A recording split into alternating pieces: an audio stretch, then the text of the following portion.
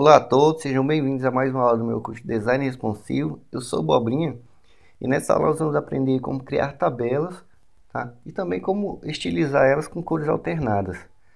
Eu vou dar continuidade aqui de onde a gente parou da última sessão.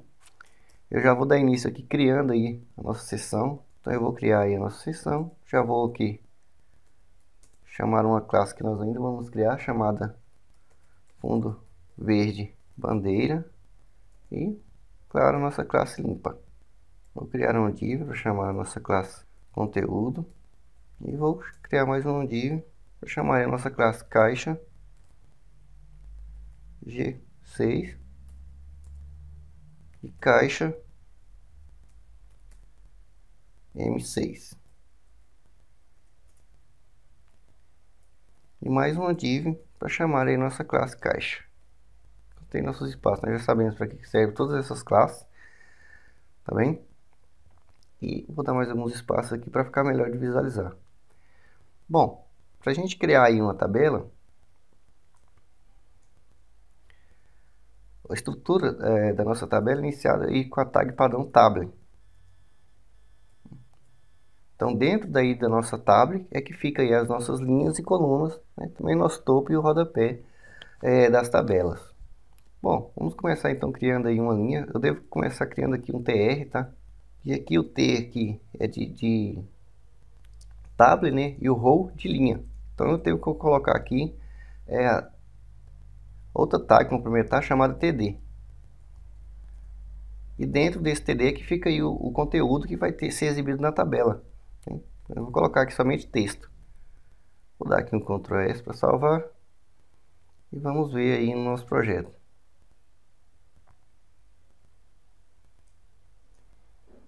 Perceba que o nosso texto ficou ali, cada linha abaixo. No entanto, ele não apareceu em bordas, né? como se fosse realmente uma tabela. O Google Chrome atual não exibe isso. Voltando aqui, eu vou colocar aqui uma borda, tá? diretamente aqui no tab. O certo é que a gente faça isso no CSS, caso você queira. Mas só para exemplificar, eu vou colocar aqui. Então, vou colocar aqui um border e vou colocar aqui um. Tá? Vamos Ctrl S para salvar. E tá ali a nossa bordinha entre o texto, tá? que é só para ficar melhor de visualizar. Então desta forma aqui é que você cria linhas, tá? Se você vir aqui e dar um enter, copiei, colei, então eu tenho duas linhas, então eu posso colocar quantas linhas é, eu quiser, correto? Veja que lindo, fiquei ali com duas linhas. Bom, e como eu crio aí mais de uma coluna? Então, basta Veja que eu tenho aqui o TD, tá? Que contém uma coluna. Então, eu posso simplesmente pegar e colar. Ao fazer, ao fazer isso uma vez, eu devo... É, ele me recebe aqui um alerta, tá? Que o número de colunas acima é maior do que o número de colunas abaixo. Tá? Para ficar certinho, deve ter o mesmo valor. Aqui ele vai criar uma, duas linhas e duas colunas. Para salvar e tá lá. Tá bem? Perceba que não é muito complicado aí criar tabelas, tá? Você vai fazer aí alguns testes, criar mais tabelas tá? e se organizar direitinho. Então você usa o TR aí para criar a linha e o TD para criar aí a coluna, correto? E caso você queira, por exemplo, que em cima ou embaixo tenha uma linha, é, caso você queira que em cima tenha uma linha, embaixo duas colunas, então você tem que utilizar uma outra propriedade. Então aqui no TD você vai ali no, no final dela e vai utilizar o CoSpan. Dentro desse CoSpan você vai colocar o número de colunas que tem abaixo. Bem? Por exemplo, aqui tem duas colunas. Eu tenho que apagar então aqui né, uma de cima. Ele corrige. Então, ou seja, quanto mais colunas eu tiver aqui embaixo, né, eu devo mudar esse número aqui. Então, vou dar um Ctrl S para salvar. Vem aqui e tá lá. Então eu tenho o texto embaixo,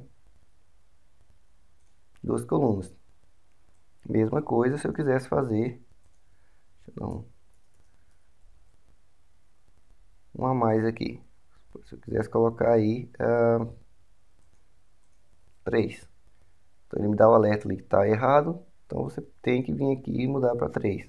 Essa estrutura vai dar certo? Não vai dar certo. Caso você queira fazer isso aqui, por exemplo, criar uma estrutura de outra é, tabela, você tem que criar outra tabela, tá? Não pode ser dentro de, um, de uma mesma tabela.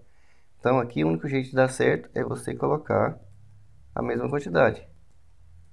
Bem, Ctrl S para salvar. E eu tenho ali a estrutura seguida, tá?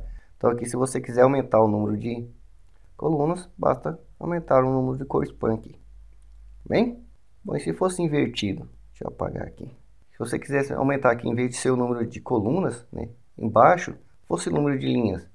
Então você vai utilizar a propriedade row. Então eu tenho a propriedade chamada row span. Tá bem? E dentro dela a mesma coisa. Aqui eu tenho um TD. Eu posso vir aqui a criar mais um TD, tá? E aqui perceba que ele está me dando um alerta ali que o número de linhas que eu coloquei aqui é 2, mas eu só tenho uma linha aqui. Então eu posso vir aqui abaixo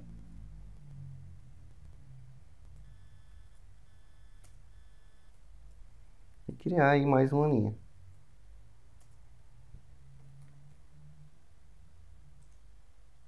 Correto? Vou dar aqui um Ctrl S para salvar. E ele ficou ali com o texto aqui e aqui a quantidade de linhas. Caso você queira é, representar mais de uma coisa em linhas diferentes. Tá? Então, do outro modo, utilizando o CoSpan, você é, define aí mais de uma coluna, tá? E deixa a quantidade de linhas que você quer acima. E com o RowSpan você define aí a quantidade de linhas que você quer, tá? Ctrl C, Ctrl V. E você define e aumenta a quantidade de linhas que você acha necessária. Perceba que eu coloquei ali a, a linha baixa aqui. Né? Ele me alertou o erro aqui. Por quê? Porque toda vez que eu mudar aqui a quantidade de linhas, eu tenho que aumentar aqui a, o número. Né? Ctrl S para salvar. E ele corrige ali para mim. Tá certo? Então, só nessa parte aqui do row span e core span que você tem que fazer alguns testes a mais, tá? É um pouquinho chatinho de, de, de fazer às vezes, tá? Mas é, é prática, tá? Não tem como.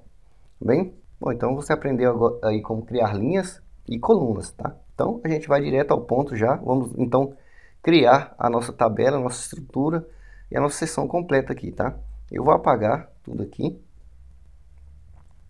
E a primeira coisa que eu vou fazer, então, eu vou criar aí o nosso H2, nosso título principal. Abaixo do nosso título principal, eu vou criar um parágrafo. E abaixo do parágrafo aí, é, eu vou criar a nossa estrutura da tabela. Eu vou novamente colocar aqui um board.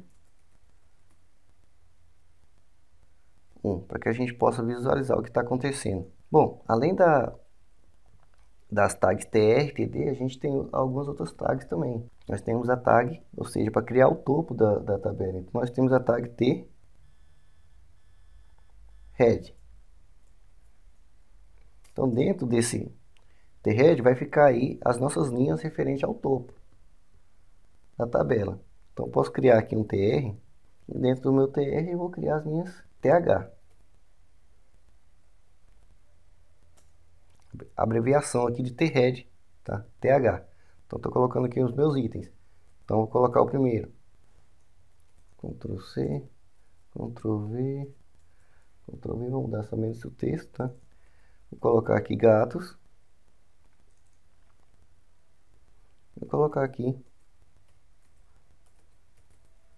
motivos. Então, aqui eu criei a estrutura do do topo. Então dá um Ctrl S para salvar.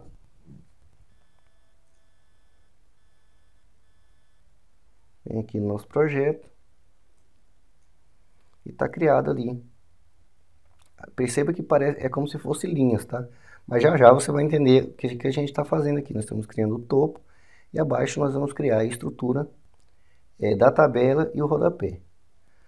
Bom, da mesma forma que nós criamos aqui Aqui ficou faltando fechar, tá? Apesar dele não ter me alertado o erro, a gente tem que sempre estar tá atento aí, ó. Dentro do, do TR aqui abaixo, ó, ficou faltando aí fechar o nosso TR. Bem, ele tem que estar tá fechado aqui em cima. Dá um Ctrl S para salvar. E aqui, agora que nós criamos aí o topo, nós podemos criar então o nosso rodapé. Ele pode ficar aqui abaixo do topo, tá? Então você pode criar o seu T, T o que? Footer. Ou seja, que vai aparecer abaixo ali da, da, no rodapé da tabela. Então eu crio aí o nosso TR. E dentro do nosso TR eu vou criar aí o nosso TD.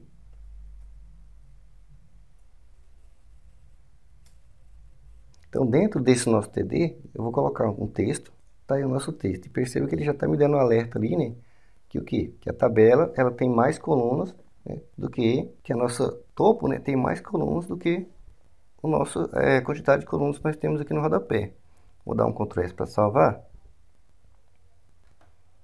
E aqui, perceba lá que ele faz o negócio, mas aqui ao lado, né, à direita, ele não exibe nada. Então, como que a gente corrige isso? Da mesma forma que a gente fez anteriormente. Você vem aqui no nosso TD, né? o que, que eu quero mudar ali? Então, a quantidade de colunas. Então, eu utilizo ali o CoSpan. Que número eu defino aqui? Quantas colunas eu tenho aqui? 3, certo? Então eu tenho que colocar o número 3 aqui. E ele já corrige para mim. Ctrl S para salvar.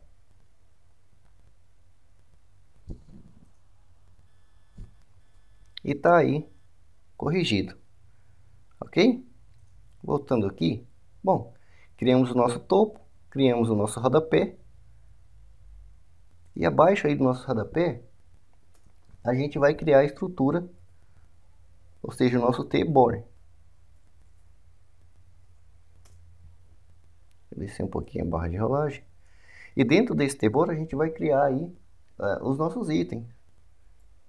Como a gente já fez anteriormente, tá? Então, TR, tá bem? Dentro desse TR eu vou ter três linhas, tá? Tem uma linha, perceba que ele está me dando um alerta ali, que tá é, minha quantidade de colunas, tá? Então a primeira aqui eu vou colocar 18,5 tenho que colocar mais um TD. Colocar aqui 37,7. Eu já estou colocando os dados do site, tá? Que a gente ficou lá no final. E vou criar mais um TD aqui.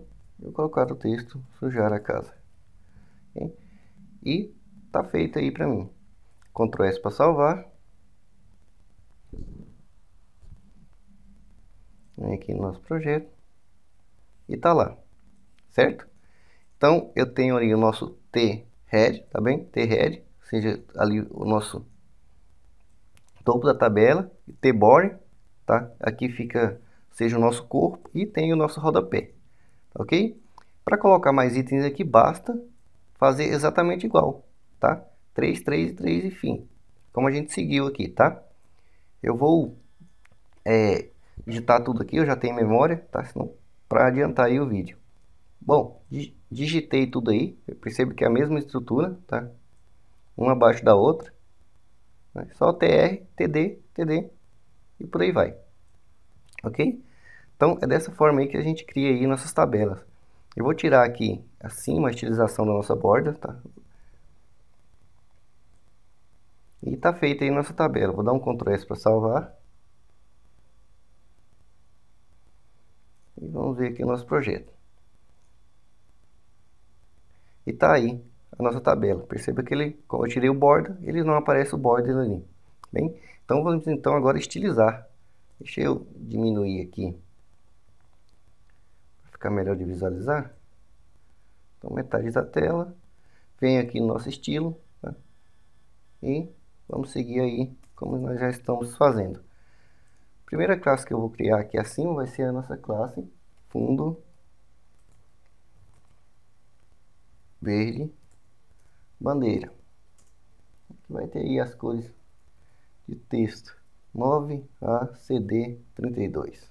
E vai ter uma cor de fundo 22 8B 22. Ctrl S para salvar e tá aí. Bom, agora eu vou então selecionar nossa tag padrão, lembrando que como eu estou selecionando a tag padrão, os estilos aplicados para a construção dessa tabela, toda tabela que você criar, é, vai receber esse estilo. Então, se você quiser criar estilos diferentes para tabela diferente, você deve colocar um nome, por exemplo, é, tabela tabela 1, por exemplo, aí você coloca tab e cria aí seu estilo, tá bem? Nós vamos então estilizar aí a tag padrão tab. Vou definir uma cor já, 092000. Vou definir uma largura para minha tabela, tá? De 100% e está aí aplicado na nossa tabela. Tá? Você pode aplicar outras características tá na tabela, como por exemplo, colocar uma sombra, colocar uma borda, enfim, etc. Bem? Ou então criar o nosso estilo para o nosso tablet, ter ou seja, para o estilo ali do nosso itens aqui do nosso topo, tá? E o meu topo aí vai ter um background 007138 e os cores do texto 00 F400. Ctrl S para salvar e aplicou ali o estilo para gente ali no nosso, somente no nosso topo. Bom, vou criar um estilo então para o nosso tablet de footer, ou seja, para o nosso rodapé. Nosso rodapé eu vou aplicar aí font size, ou seja, eu quero que a fonte tenha o tamanho menor, né? Vou colocar aqui 8 m e vou colocar apenas uma cor de fundo também. Diferente. 009B4E. Ctrl S para salvar. E tá ali o nosso estilo aplicado. Bom, vou estilizar então os nossos, nossas linhas. Então, tablet, quero estilizar aí as nossas linhas, tá? É, os nossos TH, nosso TR, as linhas ali que, que aparecem ali acima, tá? Então vou colocar aqui o nosso TR e dentro do nosso TR eu tenho o TH, T-Reader, né? E o nosso T-Reader eu vou colocar um border, tá? Um PX solid e a cor 007D3F. E aqui eu aplicando estilo apenas aqui no, na nossas, no nosso header, seja, nas nossas linhas de cima. Tá? E vou dar aqui um padding de 15 pixels. Ctrl S para salvar. E ele aplicou o estilo ali pra gente, tá bem?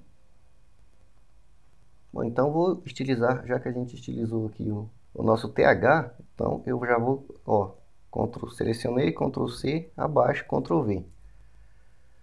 Aqui eu vou então mudar o nosso, em vez de ser TH, eu vou colocar TD. Ou seja, essas linhas aqui que fica, que tá ali do corpo, tá bem? As linhas do corpo. Então na cor aqui eu vou colocar na cor verde.